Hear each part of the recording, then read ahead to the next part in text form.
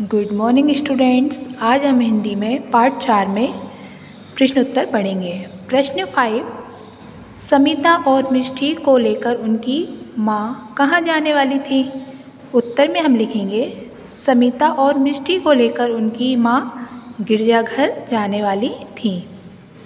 प्रश्न six mother Teresa ने कौन सी संस्था बनाई थी? उत्तर में हम लिखेंगे, मदर टेरेसा ने मिशनरीज ऑफ़ चैरिटी नामक संस्था बनाई थी। प्रश्न सेवन, हमारे लिए तो तुम भी मदर टेरेसा ही हो। समिता और मिष्टी ने अपनी माँ से ऐसा क्यों कहा? उत्तर में हम लिखेंगे, दोनों ने ऐसा इसलिए कहा क्योंकि एक माँ भी अपने बच्चों की देखभाल मदर टेरेसा की तरह ही करती है।